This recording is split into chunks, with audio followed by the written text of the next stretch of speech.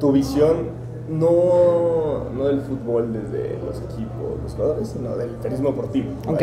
¿no? Es, un poco lo, lo que nos, nos interesa. Y creo que si vamos a hablar de eso, conviene empezar, como dicen los cánones, de lo general A lo particular. Y lo general creo para mí, y es una pregunta que puede parecer bien estúpida, pero que me hace mucho sentido, es ¿cuál es la, misión real de un periodista deportivo? No, no en el tema, o sea, como de informar o hacer cobertura, sino ¿cómo puede un periodista deportivo dejar el mundo mejor de como lo encontró? O sea, puede... No, es una pregunta muy difícil. Es una pregunta muy difícil. Porque la pregunta es, ¿el periodista per se puede dejar el mundo mejor o no? ¿No? O sea, al final se habla mucho del periodismo deportivo y se, le- eh, se habla del periodismo deportivo como si fuera algo aparte del periodismo general. El periodista es periodista y después se especializa en deportes, espectáculos, economía, ¿no? O sea, yo lo veo así. Entonces, eh, ¿cómo lo puede hacer? Para empezar, eh, respetando mucho el oficio. Creo que en ese aspecto en particular el periodismo deportivo tiene muchos vicios, ¿no? Arrancando con los periodistas porristas. Creo que una labor previa a eso incluso, porque venía pensando en, eso, ¿no? Como en el camino para acá y decía, al periodista siempre se le pide ser objetivo, ¿no? O sea, el, periodismo, el periodista tiene que funcionar en una especie de asepsia, ¿no? O sea, funciona como aparte del mundo, nada lo toca, nada lo cambia, nada lo permea. Y no es así, pues al final es una labor humana que tiene que ver con, con muchas cuestiones subjetivas. Entonces, creo que lo más honorable y honesto que puede hacer el periodista y el periodista deportivo es de construir y empezar a entender sus propias perspectivas, ¿no? O sea, por ejemplo, yo soy una mujer de clase media, de familia eh, extranjera, nacida y crecida en México, y eso evidentemente va a permear la manera en la que yo aborde ciertos temas. Entonces, si yo empiezo a entender eso, ok, si empiezo a entender mi propia subjetividad, pues puedo apuntar más hacia una asepsia, ¿no? O sea, estamos como muy comprados de nosotros mismos. Y de, no, yo soy súper objetivo. Claro que no. Eres un hombre blanco o criollo de clase media, ¿no? Que está permeado por ciertas cuestiones que tal vez profesa cierta religión. Y eso invariablemente va a afectar la manera en la que tú abordas las, las, eh, las noticias y cómo las transmites también. O sea, me parece mucho más honesto, ¿no? escoger las batallas que va a luchar ese periodista deportivo durante su vida, ¿no? Más o menos. Pues sí, es una batalla interna. Una vez que aprendes a lidiar con esa batalla interna, creo que puedes abordar de forma mucho más honesta tu trabajo. Sí, pero me refiero a que normalmente es, es- es bastante monótona la labor ¿no? del periodista. Es como muchas veces en partidos, ¿no? Y hacen como lo de rigor, lo objetivo, y con- por el miedo a lo subjetivo muchas veces se quedan sin escoger batallas como, eh, no sé, alguien que diga, como este cuate que sacó lo de la FIFA, ¿no?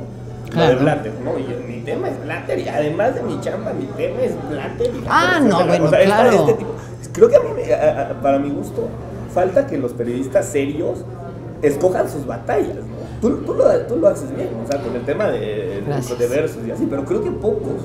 Es que, ajá, eso me lleva como al segundo punto, ¿no? O sea, tenemos que dejar de entender como que el periodismo deportivo tiene que ver únicamente con el 4-4-2, el 4-3. No, yo hablo de lo que pasa dentro de la cancha, ¿no? O sea, a ver, el deporte no funciona en una probeta.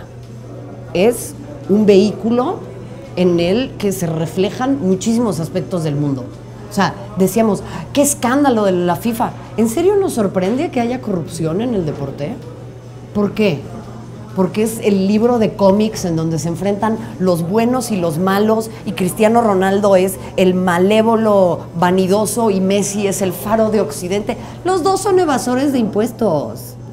¿No? O sea, dejemos de caer en esa, narrativa de la idolatría. Imagínate que el periodismo de política hiciera eso, que era lo que pasaba hace 100 años con las grandes revoluciones, ¿no? O sea, vamos a quitarle un poco la máscara a los ídolos y vamos a hablar de los sucesos. Eso creo que es un punto. Y lo que dices es bien importante. Para mí se volvió algo muy duro y ha sido una batalla muy dura en el sentido de que ahora que yo he abiertamente declarado mis feminismos y mis inclinaciones políticas, porque lo personal es político y lo político se vuelve personal, por mucho que te digan que no. Eh, muchas personas me han dicho que yo he dejado de ser objetiva, ¿no? Por ejemplo, sale el escándalo de Cristiano Ronaldo, que le pagó a una mujer 375 mil dólares para que no lo denunciara por violación. Y yo lo menciono, y entonces hay personas que me dicen, es que eres menos objetiva. ¿Por qué? Yo siento que es todo lo contrario. Me haría subjetiva no mencionarlo en aras de salvaguardar eh, eh, la, la narrativa perfecta del partido de fútbol. El deporte no existe nada más cuando saltan los 22 mu- muñequitos a la cancha, ¿no? El fútbol en este caso. El béisbol lo mismo. El caso de O.J. Simpson. ¿Por qué no vamos a hablar de esa clase de cuestiones? Somos periodistas. Esa es nuestra área. O sea, no es hablar. Eso dejémoselo entonces a los técnicos, a los analistas, ¿no? Porque como uno no jugó fútbol, entonces uno no puede hablar de eso. Bueno, pues, a ver, te, te planteo yo la siguiente pregunta. ¿Todos los periodistas de política han sido candidatos a la presidencia? ¿Han sido presidentes de la República? No. Y los periodistas de política hablan de eso y nadie les dice que no lo pueden hacer. Entonces, por ac- o sea, el periodismo de deportes se maneja como, como una disciplina como si hubiera surgido hace 100 años y no hayamos evolucionado. O sea, Y, y- y los medios deportivos como que también tienen esta intención de pertenecer, bueno, me estoy generalizando, muchos eh, elementos y, eh, y comunicadores deportivos eh, tienen como esta intención de pertenecer más al mundo del fútbol claro. que al mundo del periodismo, Bueno, es que ahí viene una pregunta muy de la importante. comunicación. Por ejemplo, las grandes empresas de medios, ¿no? Que se especializan en algunas de sus ramas en deportes. La gran batalla eh, tiene que ver con los derechos de transmisión. Entonces, ¿hasta qué punto eres una empresa de entretenimiento y hasta qué punto eres una empresa periodística? Y cómo esos dos se empalman y se enferman mutuamente. ¿Por qué? Porque si tienes los derechos de transmisión de la Champions o de X torneo, se vuelve complicado el punto medio. Es, es natural. Pasa también con empresas que de repente, qué sé yo, pierden los derechos de transmisión de un evento, la Fórmula 1. Dejan de hablar de ello. Cuando Televisa dejó de tener los Juegos Olímpicos, ya no le interesó. Entonces ya no es periodísticamente relevante porque no me representa un negocio. No, y también de ahí ¿Y qué haces? surgen cientos de, de vicios del periodismo deportivo, como, no sé, como la- las declaraciones vacías, el debate a veces sin argumentos, ¿no? O sea, que, que El debate innecesario. el que es lo, lo que busca la gente, porque es lo que se le ha dado, ¿no? Y entonces es como un círculo vicioso, ¿no? Como que haces un producto seguro que vende y la gente se acostumbra a eso y entonces ya es lo que consume y entonces lo hacen los medios y hay ahí un círculo vicioso que no sé en qué momento se va a romper. A ver, tú llegas con un editor de deportes en un diario. Hablemos de, diarios, pero en realidad pues, es lo mismo en tele, radio. ¿Por qué no cubren el fútbol femenil? ¿Por qué no cubren los deportes adaptados? Porque, ojo, o sea, estamos en una barrera en la que no se habla de nada que no sea lo coyuntural que tenga que ver con una cierta parte de la población. Es que no tenemos espacio. ¿Cómo no tienes espacio? Empiezas a ojear el periódico y dices, a ver, güey, tienes toda tu contraportada llena de las chicas del día. Le diste página y media a la bruja Zulema que fuera a hacer la limpia Cruz Azul. Entonces, no es que no haya historias, lo que pasa es que tú priorizas ciertas historias por sobre otras. Entonces, ¿cuál es la línea editorial? No, es que hay que darle a la gente. A mí me parece una falta de respeto a la audiencia. ¿Por qué? Porque estás partiendo de la base que van a consumir todo lo que les des. Estás pensando que el público es estúpido. El público no es estúpido. Y ahí también viene la parte del consumidor. El consumidor, al igual que el ciudadano en una democracia, castiga y premia. Entonces, ay, sí, es que ustedes los medios. ¿Ustedes los medios? ¿Qué significa? Están hechos por un montón de gente que toma un montón de decisiones correctas o equivocadas. Al igual que el público. El público no es una masa amorfa, ¿no? De, de algo ahí que se mueve. Son personas que toman decisiones. Cuando tú decides consumir eso, estás premiando. Es muy sencillo. La siguiente pregunta, te, te voy a pedir que en la respuesta venga la pregunta. Para Correcto. fines De la, eh, de la producción. ¿Cuál crees tú que es el principal vicio del periodismo deportivo en México? Uno, uno, escoge uno, yo sé que hay varios. Uno. Creo que el principal vicio del periodismo deportivo en México es no entender la importancia y la profundidad de la profesión que está desempeñando y por ello manejarla con poca profesionalización. Parece ser suficiente saberte la alineación de Pumas del 2001 y no entender el contexto en el que son relevantes esos datos. Me- a mí me llama mucho la atención que hay Voy a comer, ¿eh? Dime. No, adelante, adelante. Hay muchísimo, digamos que hay una cantera gigantesca, muchísimas personas que se quieren dedicar al periodismo deportivo en nuestro Ujú. país. O sea, yo siempre he dicho, si vas a todas las preparatorias, todos los salones de prepa de todo el país, Ujú. te apuestas y te pongo una lana ahí de que más del 90% hay mínimo uno que quiere ser periodista deportivo. Siempre Ujú. hay, siempre hay uno. O sea, bueno, yo era ese en mi, en mi salón, eh, pero seguro hay, y siempre había otro. ¿Qué pasa con esa, esa, eh, eh, esa, esa cantera? ¿Qué pasa con esa, ese entusiasmo, esa hambre de llegar a, a- a contar historias? Eh, me- como que me frustra un poco, siento que pasa como lo de la selección. Hay un chingo de gente jugando fútbol y, todo, y, y no hacemos un equipo No hay que oportunidades. sea competitivo a nivel mundial para ser de los primeros 10. Pues tiene que ver, punto número uno, con la falta de diversidad, ¿no? O sea, si tú no cumples con ciertos elementos que corresponden al periodista deportivo promedio, estamos hablando de tele, ¿no? Siento que son muchos los que generan este idealismo, o sea, mucha gente te dice, no, yo quería ser como Orbañanos, yo quería ser como El Perro, yo quiero ser como Martinoli, yo quiero, por citar algunos nombres, salir en la tele, porque muy pocos te dicen, uy, yo quiero firmar la nota que dice redacción, no, o sea, y tiene que ver con, con la falta de diversidad. ¿Por qué? Porque tienes a cuatro cuates hablando en una mesa, todos de traje, todos son más o menos igual, son católicos, clase medieros, homofóbicos, hombres, alguna parte exfutbolistas, ¿no? Corresponden a ese estereotipo. Y entonces, pues, ¿cómo vas a ocupar esa silla si nunca se va a quitar esa pieza para darle cabida a algo más? O sea, además son rucos todos. No, además son rucos todos, ¿no? O sea, pero eso. A ver, o sea, el buen periodista también se va haciendo con el tiempo. Entonces entiendo que la experiencia, ¿no? Está bien. A mí, lo que me, a mí lo que me aterra es la falta de diversidad. Y lo que más me aterra es la falta de conocimiento de otros temas. O sea, a mí me pueden criticar porque yo nunca jugué fútbol y entonces yo no sé de táctica lo que saben todos ellos, ¿no? Ok, está bien. Entiendo que es algo complejo. Tampoco quiero decir que es astrofísica, pero tiene su chiste. Pero entonces empezamos a hablar de violencia en los estadios. Yo les he dicho, ¿cuántos años llevan estos exfutbolistas de no haber ido a una tribuna? Entiendo, no pueden, pues ya no se pueden meter ahí. Pero entonces, ¿cómo van a hablar de las vivencias de las personas que están ahí? Tráete a alguien que sepa de eso, aunque sea para ese programa nada más.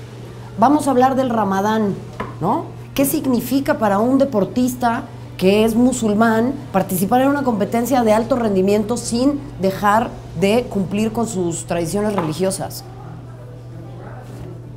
Nadie sabe. Pero ahí estamos todos hablando, ¿no?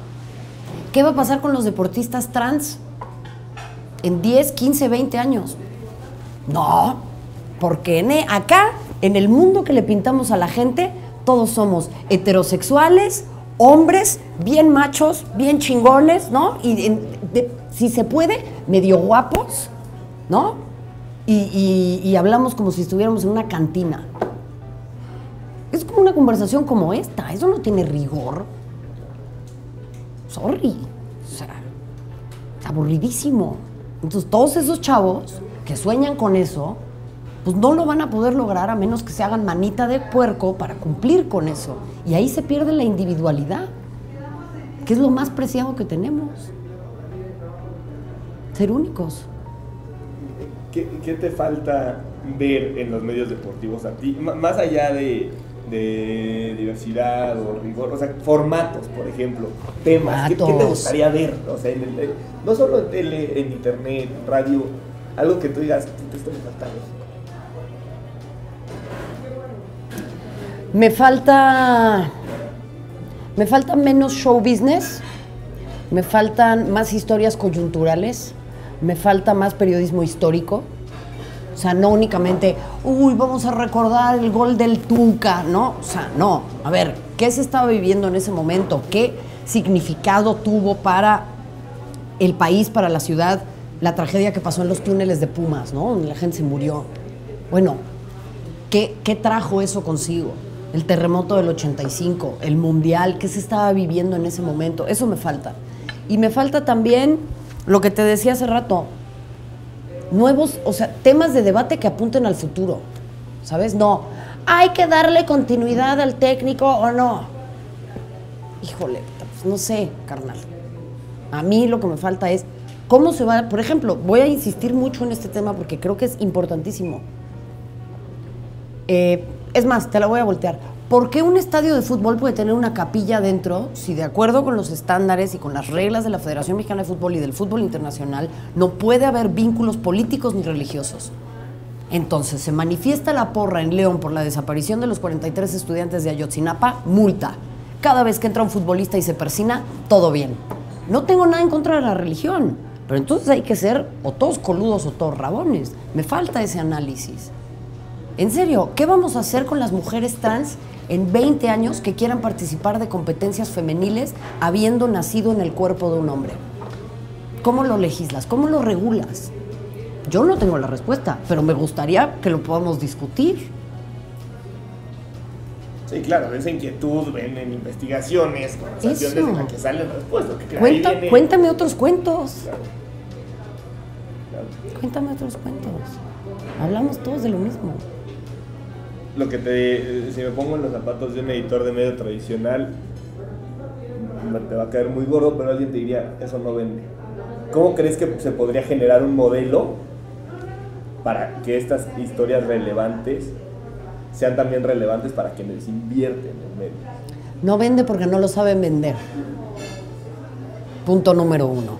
Si yo llego y te digo, este vino, la vez pasada que me lo tomé, casi me muero. Está asqueroso, ya se pasó. La verdad es que está bien, te lo vendo en cinco pesos. Vas decir, esa porquería, ¿para qué la quiero? Es que este vino está buenísimo, está en su punto, está cerca ya de estar lo suficientemente viejo como para cautivarte, pero si no te lo tomas ahorita, te vas a perder de la oportunidad de tu vida. Estoy vendiendo la misma cosa, ¿me entiendes? Entonces, hay que saber vender las historias y hay que saber poco a poco, porque yo te estoy hablando de temas que tal vez, ok, en esta coyuntura en la que ya estamos acostumbrados a ver eso en el periodismo de deportes, no vende, va. Démosle la oportunidad a la audiencia de elegir, porque de entrada tú estás eligiendo por un montón de personas diciéndome que eso no vende. Ponlo, inténtalo. Tenemos muchos mecanismos de medición más hoy en día en internet. A ver, pon una, ponlo y ve cuántos clics te da, ve cómo funciona, mueve la historia, hazlo bien. Ya, si el público no quiere, bueno, eso es otro tema. Pero si tú te pones el papel del editor, esa, esa respuesta a mí me parece patética. Tenemos miedo a innovar, tenemos miedo a, no, es que la gente se nos va a espantar. Bueno, que ellos decidan. No somos nosotros los adultos responsables de toda esta masa de niños por los cuales eh, nosotros tenemos que decidir. Nuestra tarea es poner las historias, nada más, y hablar de lo que está pasando. Somos un vehículo. La información es un bien público, no me pertenece a mí. No puedo yo decir nada más, no, esto no se toca. Eso es el peor vicio de todos. ¿Qué clase de soberbia es esa? ¿Quién me da a mí el derecho de decidir qué información puedo dar y cuál no? Es un bien público. Creo que viene de que las, em- las empresas de comunicación son privadas. Eh, Ahí tal vez. Ah, claro. No, o sea, Ay, ya nos metemos en otro público, tema, pero- por supuesto. Eh, tú eres de extremo izquierdo. Juegas fútbol. Sí, Juegas de extremo izquierdo. generalmente, o de punta, sí. ¿Cómo es un extremo izquierdo en el periodismo deportivo? ¿Cómo lo Ah. Me estás este metiendo una buena leña ahí, ¿eh? Porque si no van a decir que soy de izquierda y luego van a decir que soy la hija del peje, ¿Cómo es un no extremo en el periodismo deportivo? rápido, eh, rápido, ágil, con gran capacidad de llegar a línea de fondo. No necesariamente siempre tiene que hacer los goles, pero tiene que habilitar al equipo para que llegue. El centro tiene que ser muy preciso. Y en ese sentido yo te diría que el centro delantero tiene que ser el público. Tú nada más le tienes que poner el centro para que sepa cabecear. ¿Te consideras un extremo del periodismo deportivo? No, todavía no. Espero algún día llegar a hacerlo. ¿Qué le preguntaría la Marion Reimers periodista a la Marion Reimers que juega fútbol?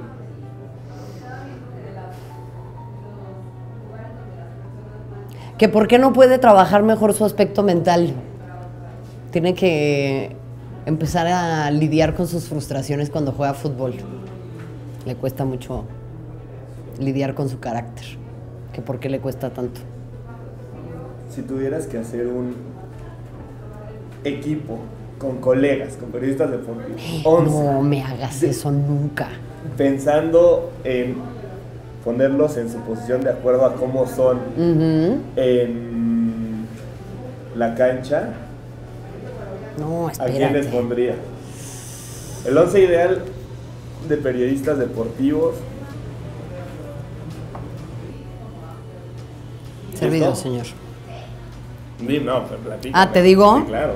Bueno, voy a poner a Nelly Simón en el arco, que tiene visión para todos. O sea, el, arquero siempre tiene además como esa capacidad de, de ver lo que está pasando en el juego, como con, ¿no?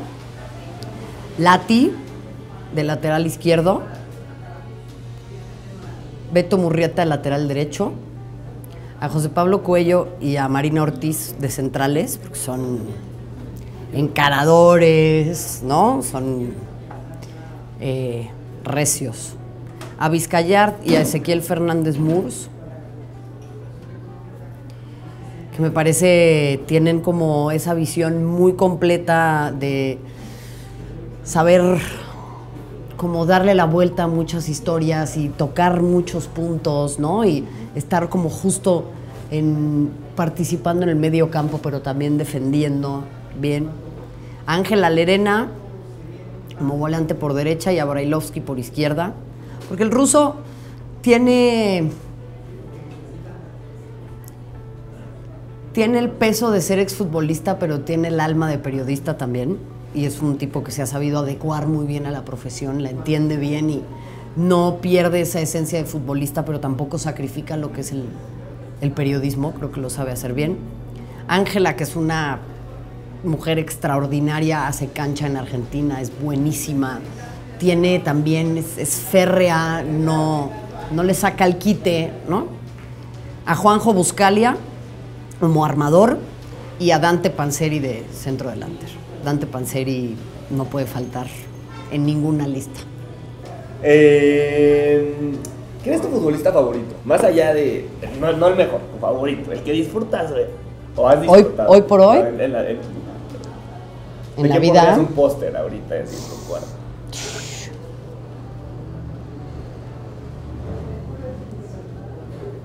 Es una pregunta difícil.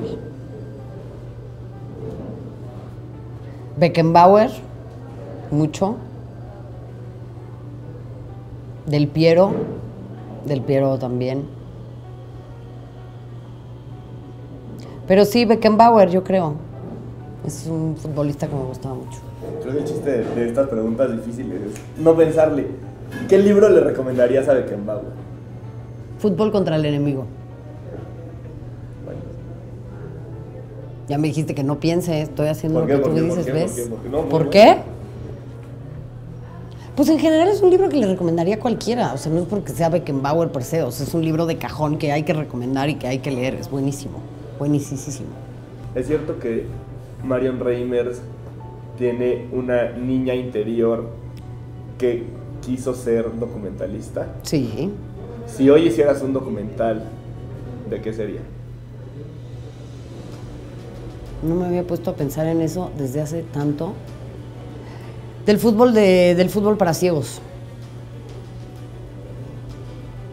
Porque de eso hice mi tesis de maestría y me hubiera gustado también no poder mostrarlo únicamente en, en el escrito, que sirve porque pues, estimula la imaginación, sino hacerlo visual, que es una ironía, hacer algo visual que es el fútbol para ciegos, ¿no? No, pero seguramente. Eh, eh, Es un tema, ¿no? Y Es un temazo, es un temazo. Eh, creo, seguro lo sabes, seguro te lo ha dicho más de una persona, pero como que sí, la figura de Marion Reimers sí ha sido una figura eh, que en el medio deportivo ha, ha abierto brecha, ¿no? En varios aspectos. Sin embargo, además eres joven. ¿Cuál es uh, el legado que Marion Reimers quiere dejar para la profesión?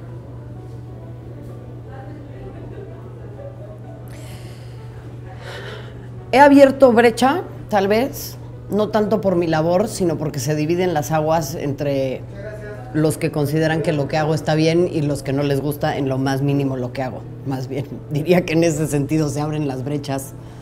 Eh, no me siento yo con el título de haber agarrado una bandera, ¿no? El trabajo lo fue haciendo solo, creo, pero mm,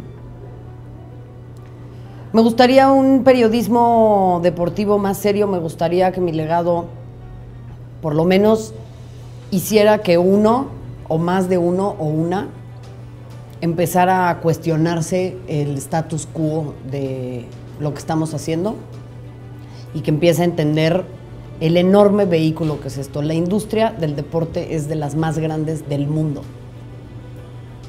Y al mainstream le conviene que siga el periodismo de deportes siendo el hermano bobo. Porque entonces esa industria va a poder eh, proliferar sin que haya demasiado problema. Lo que hace el periodismo es que también exige rendición de cuentas. Y el periodismo deportivo no exige rendición de cuentas más que cuando se pierde o hay una goleada. Y esa no es la rendición de cuentas que es relevante para un aspecto de nuestra sociedad como ese. El deporte espectáculo ha sido, me parece, junto con la tecnología y tal vez eh, el armamento, una de las áreas que más se han desarrollado en el siglo XX. Lo que pasa es que esa la hemos dejado pasar. El deporte espectáculo acapara todo, todo el tiempo, todo el tiempo está ahí. Y decidimos, pues ahí, es medio chafita. Periodismo deportivo está un escaloncito arriba del de espectáculos, hombre. Nomás, tú dedícate a hablar del, del partido, da los resultados. Los resultados cambian todos los días. A mí, ¿qué más me da que en tal o cual partido hayan quedado 2-0, 2-1? ¿Qué impacto tuvo eso? La generación Iniesta. ¿Tú sabes eso? Neta. Cuando Iniesta le mete el gol al Chelsea en las semifinales de la Champions, hubo gente que se dio cuenta que el índice de natalidad en Barcelona nueve meses después se disparó y por eso esos niños les dicen la generación Iniesta. El que genere eso me parece mucho más relevante que saberme en qué minuto metió el gol. Pues eso lo puedo googlear. Eso es irrelevante, ¿no? O sea, perdón. ¿El minuto del gol qué? O sea, hay gente que dices algo, fue en el minuto 84 con 32 segundos, no en el 86, pendeja. Ah, uh, uh, perdón, no estoy haciendo bien mi trabajo, ¿no? No sé si estoy divagando, siendo No, no, clara no, con lo que quiero un decir. periodismo que rinda cuentas al deporte en la función que tiene el deporte para la sociedad. ¿Estoy También, claro. Y ante Por- el, a ver, acá, ¿qué estaba haciendo Agustín Castillo en Río de Janeiro? ¿Qué son los Juegos Olímpicos? Son un posicionamiento geopolítico. Entonces por eso también se sigue haciendo el desfile aburridísimo de no sé cuántas mil horas para que todos estemos en la sala de nuestra casa con nuestra mamá diciendo, ay, mira los de Bermudas usan Bermudas. ¿No? Y los vemos una vez cada cuatro años y te conmueven las historias donde sale un atleta porque nadie más de su país fue, ¿no? Es un posicionamiento geopolítico disfrazado de entretenimiento. Está muy bien y también enaltece el espíritu y todos compiten. Ok, buenísimo. Ese cuate tiene que explicar qué estaba haciendo ahí así. Es dinero público. Y entonces, ¿quién le pide la rendición de cuentas? Como el periodismo de deportes no puede hacer la tarea, tiene que llegar el hermano grande del periodismo de verdad a decir, a ver, señor, ¿por qué está usted ahí? ¿Por qué los atletas no tienen uniformes y usted está viendo a Roger Federer? O a Nadal o quien tú quieras. Esa es la rendición de cuentas que también tiene que existir. A ver, se está organizando un mundial en Qatar y los obreros que están construyendo los estadios son en su gran mayoría de Nepal, inmigrantes indocumentados que viven en la porquería. ¿Por qué está pasando eso? ¿Qué clase de investigación estamos haciendo? A mí qué más me da si Cristiano Ronaldo se pintó el pelo o no. Tiene un pelo como ramen ahorita. O sea, ¿Qué más me da? ¿Es relevante? ¿En serio? ¿Es importante hablar de si Messi se fue de vacaciones a no sé dónde? No. Háblenme de cómo evadió impuestos. Los ídolos también tienen que rendir cuentas. Es increíble, vemos una nota de Adrian Peterson que regresa a firmar con los Santos. Vamos a poner sus cinco mejores jugadas. No. Vamos a hablar de cómo le pegó a su hijo y de por qué si- sigue teniendo trabajo en una liga ganando millones de dólares haciendo lo que hizo. ¿Por qué Pablo Armero es convocado a la selección nacional después de que golpeó a su mujer porque no quería tener sexo con él? Y el consulado en Miami llegó a preguntar en qué podían ayudar. A él. Y el tipo lo vuelven a convocar. Entonces, ¿qué pasa si fuera narcotraficante? Ay, sí nos escandalizamos, ¿no? ¿O no? Esa es la rendición de cuentas que tiene que existir. No pueden hacer lo que quieren. Solo porque son deportistas. Pues por eso se zafó O.J. Simpson de la cárcel. Mató a dos personas. No puede pasar. Y es nuestra tarea. Esa es nuestra tarea. No nada más hablar de qué bonito todo, que también es muy bonito, pues, pero, ¿no? Sí, todo, todo suele girar alrededor de los derechos que ya se compraron, ¿no? De la agencia que ya contrataste Claro. y la agencia alrededor de los departamentos de prensa de los equipos. que- Correcto. Penúltima. Sí, dígame. ¿Cuál es el trabajo del que se siente más orgullosa Mario Rey? Voy a dejar de masticar. Sí, sí, sí, sí. Es más, te voy a dar unos. Mm.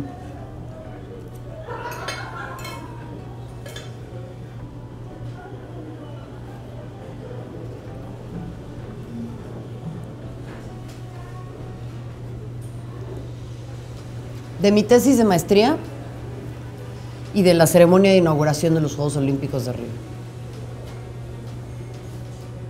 Si tuviera que elegir, serían esos dos. Uno fue más puertas adentro, el otro fue muy público. Y los dos me hacen sentir muy orgullosa. La última es, muy importante para nosotros y es una, una última dinámica. Ok. ¿Cómo traducirías una rabona en el periodismo deportivo? Uh, esa es buena.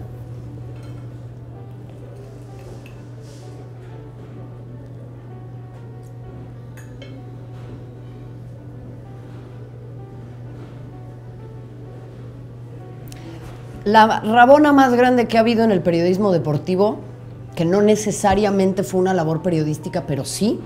Porque por eso también la rabona a veces es así, ¿no? Es como un último recurso, pero que llegó ahí, se piensa, pero no es, ¿no? Fue lo que hizo el Spiegel con Football Leaks. Esa es una gran rabona en el periodismo deportivo. Un recurso. que llegó a ti. O sea, Football Leaks llegó con el Spiegel y le dijo, toma todos estos terabytes de porquería que van a llegar a tus manos, úsalos sabiamente. E hizo así y metió un golazo. Que a veces es menos escandaloso que una chilena, pero es igual de efectivo. Sí, claro. Además puede ser más asistidor, ¿no? La chilena tiene menos control, es más agresiva. La chilena es más histérica, la rabona es con mucho más clase. Voy a abusar y voy a hacer una pregunta más. ¿Sí? En alguna entrevista dijiste que le vas a las chivas, pero Sí. le vas más a la selección. ¿Es verdad? ¿Qué le falta a la selección para llegar al quinto partido? Ah. Dejar de pensar en el quinto partido.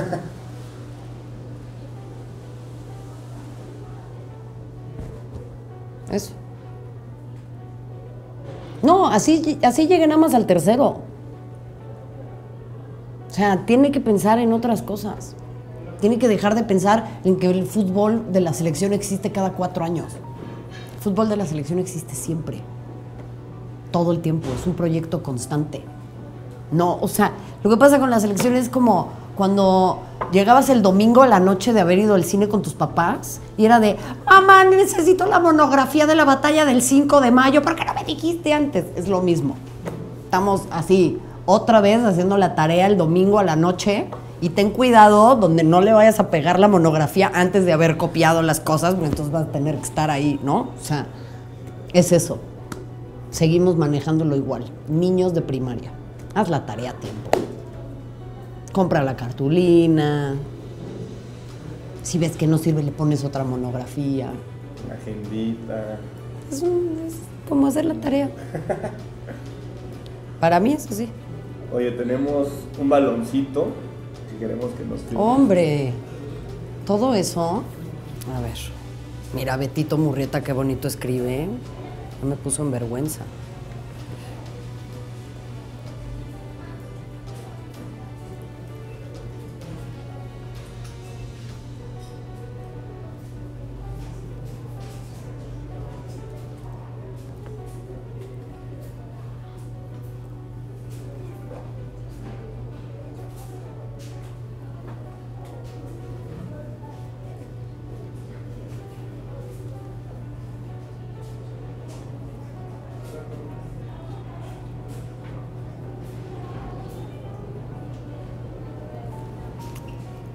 Muy bien. Muchísimas gracias. Al contrario. Te traemos un regalito. ¿En serio? Eh, eh, es- este es Qué bueno, si no, no hubiera das. venido, ¿eh? Y este es el regalito que nosotros te damos. Tiene su baloncito para que lo pongas ahí. Y tiene el Preparando 8. para ti, Tiene el 8. ¡Qué bien! Muchas gracias. Está increíble. Está padrísimo. Muchas, muchas gracias. Qué padre. Súper. Está súper chido. Súper, súper chido. Bueno. Qué buena onda. Lo voy a poner en mi nueva... Tal, tal vez es más difícil Oficina. poner el baloncito, pero ese sí lo puedes poner ahí muy. No, pero sí, por supuesto. Si no, lo voy a dejar guardadito aquí. Exacto. Y cuando lo quiera presumir, voy a hacer esto. A ver, espérate. Pero los voy a perder, ¿eh? No. Es que Mario no es zurda. Exacto, exacto. Me lo pusieron al revés. Oye, no, espérate, voy a perder mi balón. Está aquí, ¿Ves? Está aquí, está aquí, está aquí. Ah, bueno. Soy Marion Reimers, periodista.